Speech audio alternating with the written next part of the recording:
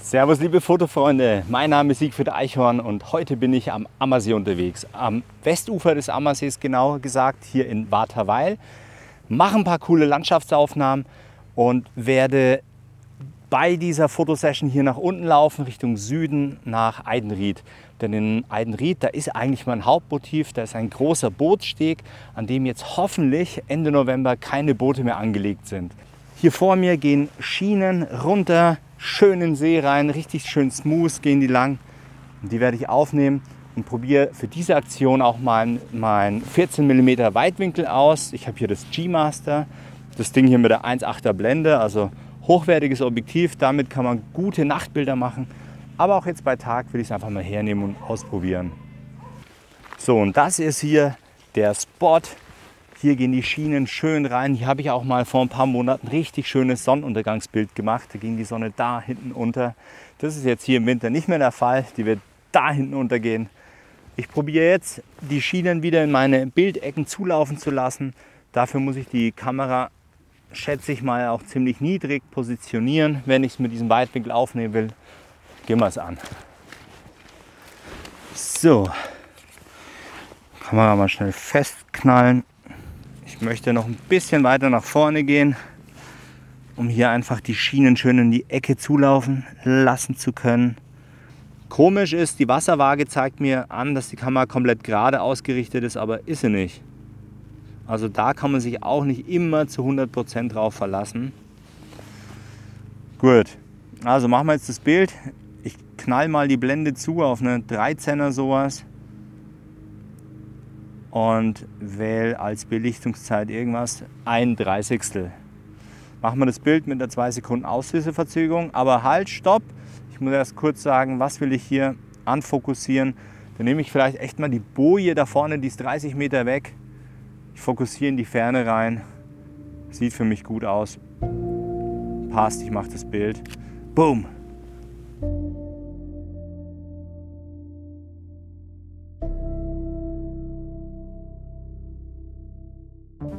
So, Freunde, jetzt beeile ich mich. Es geht weiter. Ich will noch ein, zwei Spots abchecken.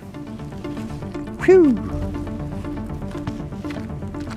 Ja, und gerade mal 10 Minuten Fußweg von da oben hierher habe ich jetzt gebraucht, um zu diesem wunderschönen Ultralangsteg zu kommen. Also ihr könnt sagen, was ihr wollt, aber hier muss ich doch tatsächlich wieder eine Langzeitbelichtung anfertigen. Das schaut ja so cool aus. Und außerdem sind jetzt ganz kleine Wellen auf dem Wasser zu sehen. Die will ich nicht. Die will ich nicht. Oh, gibt es denn was Schöneres? Aber nach dem Bild muss ich echt Gas geben. Die Sonne, die geht ja echt gleich unter und ich habe noch ein Stückchen. Das ist echt schade, weil so alle paar hundert Meter kommt einfach ein guter Fotospot. Ja, man kann ja nicht alles haben. So. Und da das 14 mm Objektiv eh schon drauf ist, mache ich jetzt trotzdem einmal mit dem schnellen Bild da wird der Steg erfahrungsgemäß noch weiter, noch länger dargestellt werden und dann auf 16 mm mit ND-Filter und Verlaufsfilter. Okay. Bei der Geschichte hier ist für mich zumindest einfach. Ich werde jetzt einfach auf ähm, vorne auf die Stegspitze fokussieren. Mache das hier auch mit meinem Fokusfeld, was ich hier schön bewegen kann. Genau, so würde ich das jetzt machen. Ein bisschen schade ist, dass diese Bretter, die die Welt bedeuten, für mich zumindest, ähm, die kriege ich nicht wirklich horizontal rein ins Bild. Ein bisschen schief hat der Schreiner hier gehämmert oder genagelt. Aber das macht nichts. Mir kommt es auf den Horizont drauf an, dass der gerade ist. So mache ich jetzt das Bild. Hier auf 14 mm mal. Und bei diesem Weitwinkel spitzelt mir die Sonne da schon wieder volles Programm ins Bild rein. Das will ich eigentlich gar nicht. Ist aber so. Wenn ich weiter vorgehe, macht es auch keinen Unterschied.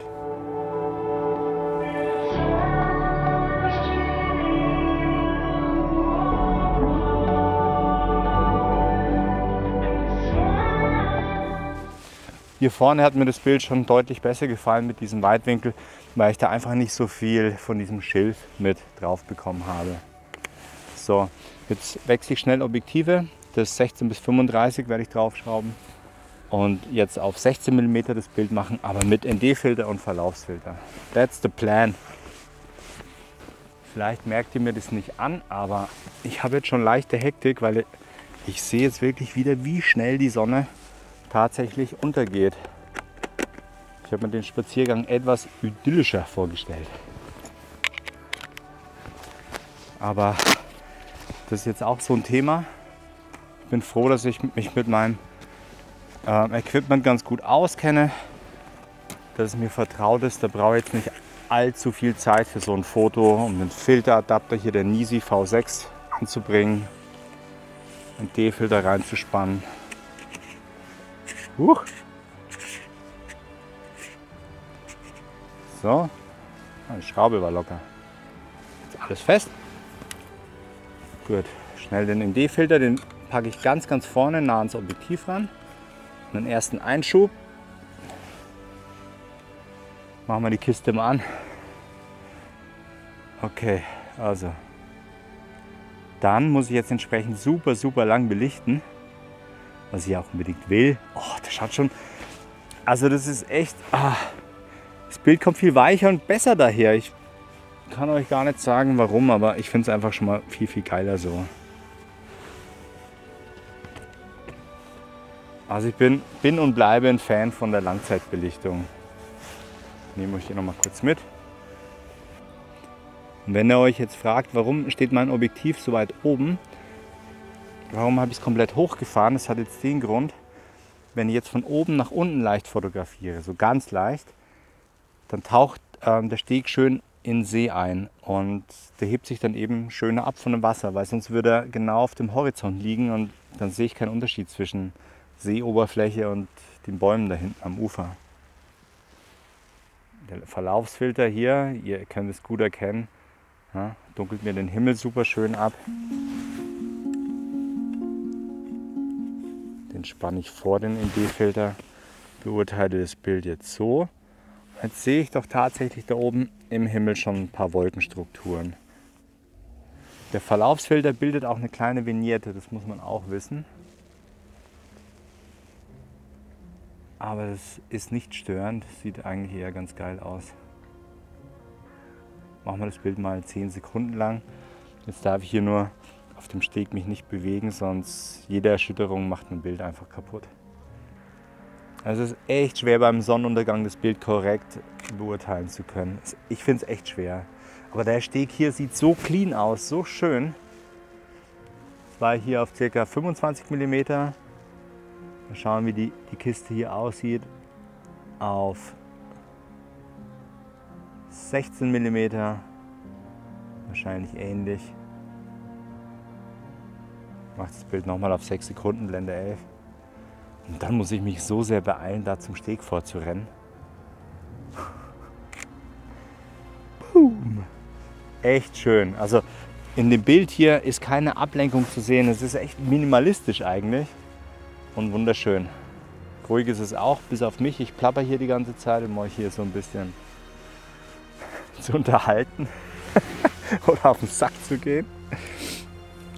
Aber nichts für ungut.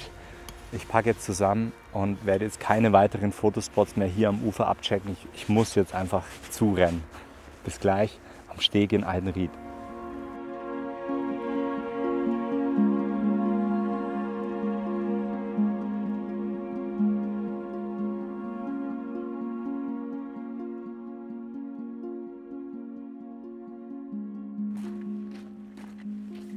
Ja Leute, ich habe es zu meinem Steg geschafft und es ist tatsächlich so, dass kein einziges Boot angelegt ist. Eigentlich perfekt für eine Langzeitbelichtung.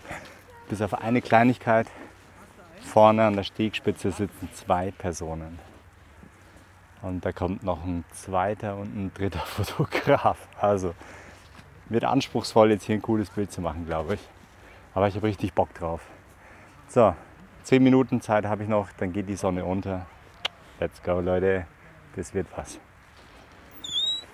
Ja, also was man hier super gut erkennen kann, ist diese Symmetrie von den Fällen, die im Wasser stehen. Und das wird einfach ein tolles Sonnenuntergangsbild, bin mir sicher. Habe jetzt Bock drauf. Das Ganze auch wieder mit einer Langzeitbelichtung. Jetzt baue ich auf.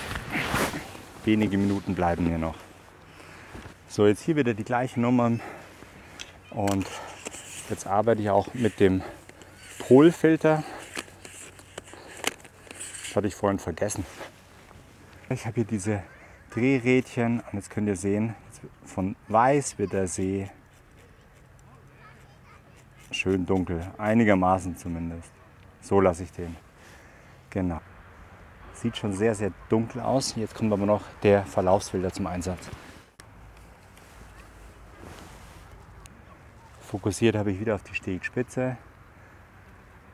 Ich habe jetzt natürlich die Hoffnung, dass äh, die Menschen sich dann nicht großartig bewegen da vorne, aber die sind eh so weit weg. Von daher ist das echt gut. Und gleich taucht die Sonne hinter den Bergen unter. Und da habe ich halt jetzt echt die Hoffnung, dass ich einen rot gefärbten Himmel bekomme.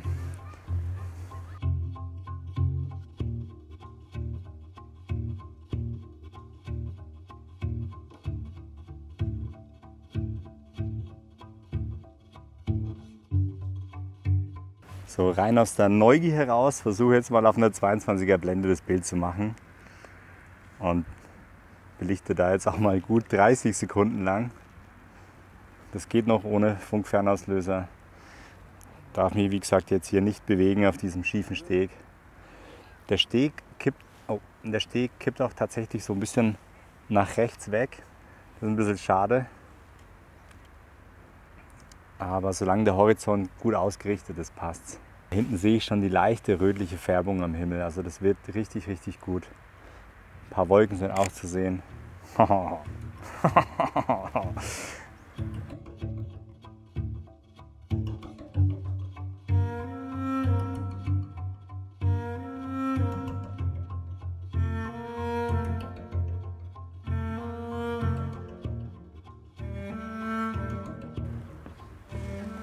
Oh. Okay, wenn wir.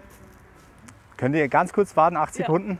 Und nicht bewegen, weil wenn es, äh, ihr, der, der Steg erschüttert dann.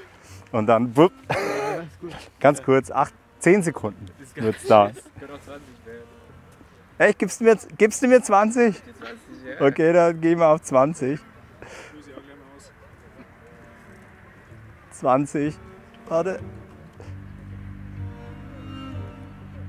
20 Sekunden. Zeit läuft. Umso länger man belichtet, umso glatter wird dann einfach das Wasser und das schaut halt ein bisschen verträumt aus. Darf man sich ja nur nicht bewegen, ne?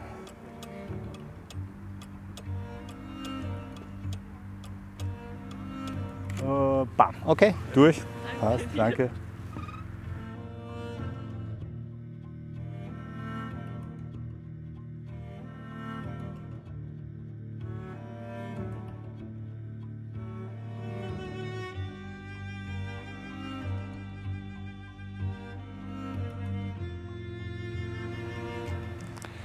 So, jetzt ist es so, jetzt sind einige Menschen nach vorne gelaufen. Die machen mir jetzt natürlich meine schöne Langzeitbelichtung kaputt. Deswegen bin ich jetzt wieder umgeswitcht auf 14 mm. Belichte eben nur ganz, ganz kurz. Und 14 mm deswegen, dass man die Leute da vorne kaum noch sieht. Ja, die sind ultra weit weg.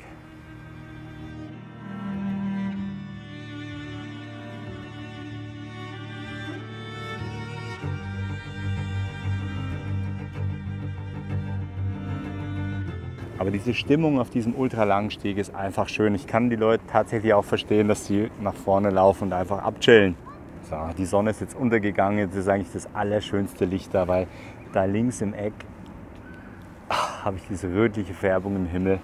Und das ist einfach unglaublich schön. Besser geht's gerade nicht für mich hier.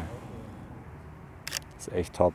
Und so ein Foto funktioniert wirklich nicht aus der Hand. Also ich nehme da immer ein Stativ her, weil da einfach Ruhe reinkriege in die ganze Nummer. Im Video sieht man das jetzt nicht so richtig, aber das Wasser verfärbt sich in goldene Farbe. Vielleicht, wenn ich jetzt hier die ISO ein bisschen runternehme, könnt ihr es vielleicht erahnen, wie das Wasser aussieht. Also es ist richtig golden, total schön. So, ich habe jetzt den Mittelpunkt des Steges aufgegeben. aber habe auch hier eine recht schöne Bildkomposition gefunden. Hier hat man diese zulaufenden Linien. Also kann auch was. Bild mal jetzt auch auf einer 16er Blende, ISO 100 und sowas von einer halben Sekunde Belichtung.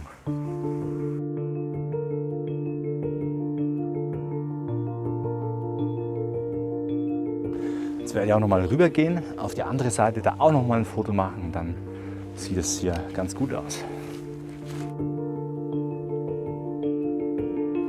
Auch hier, das wäre jetzt auch mal eine gewagte Perspektive, das Tor mit drauf zu bekommen und diese Pfahllinie, äh, die da steht.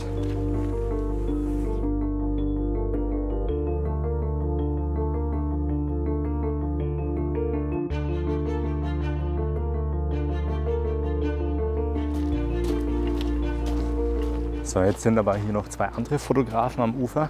Mal schauen, wie viel Kohle die wollen, dass ich mich damit einreihen darf. Das ist aber extra, wenn man wird. Ich hab's gewusst, ich hab's gewusst, ihr wollt Kohle haben. Ich hab's gewusst.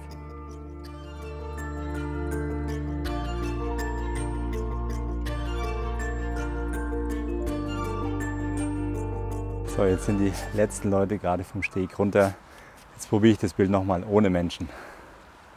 Ich arbeite jetzt mit dem Funkfernauslöser, weil ich länger als 30 Sekunden lang belichten möchte. Habe auch immer noch den ND-Filter drin. Ähm, jetzt komme ich mit meinem Autofokus nicht mehr klar. Jetzt muss ich ja, manuell fokussieren. Da suche ich mir jetzt vorne an der Stegspitze diese Stange aus. Zoome ich jetzt schön ran mit der C2-Taste. Ich habe diese Technik in diesem Video schon mal erklärt. Könnt ihr auch mal kurz reingucken, wie ich es da mache, wie, wie ich ranzoome. Aber wie gesagt, diese Display-Lupe oder Fokuslupe habe ich mir auf C2 gelegt. Da gehe ich jetzt ganz nah ran und fokussiere vorne am Objektiv so, dass die Stegspitze richtig schön scharf kommt. So, warum mache ich jetzt so eine Langzeitbelichtung im Dunkeln? Ich hoffe mir einfach noch mehr diese Rottöne dadurch rausarbeiten zu können. Und eine Langzeitbelichtung funktioniert jetzt auch nur im Bulb-Modus. Das heißt, ich bin jetzt hier auf 30 Sekunden Belichtungszeit. Ich drehe jetzt meine Belichtung einfach noch mal eins höher und da steht jetzt hier schon Bulb in meinem Kameradisplay. Jetzt werde ich so circa eineinhalb Minuten belichten. Pi mal Daumen. Das sind jetzt einfach so Erfahrungswerte. Ich fotografiere auch im RAW-Modus. Das bedeutet, wenn ich hier leicht überbelichte oder unterbelichte, kann ich das immer noch in Lightroom gut korrigieren. Aber so eineinhalb Minuten jetzt mit meinem ND-Filter, bei der Lichtsituation komme ich ganz gut klar. Oh, schau mal da hinten, die Zugspitze ist sie wahrscheinlich, oder? Die schaut so schön aus. So schön rot. And stop it.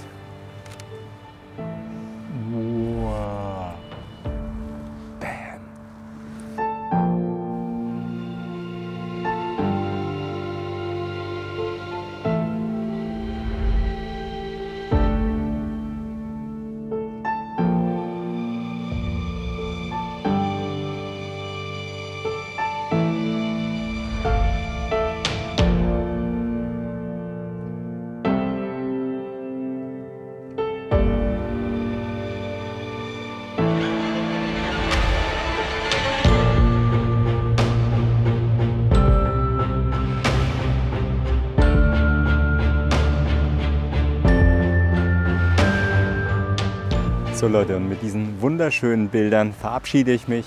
Vielen Dank, dass ihr bis jetzt dran geblieben seid. Ich hoffe, euch hat das eine oder andere Bild gefallen.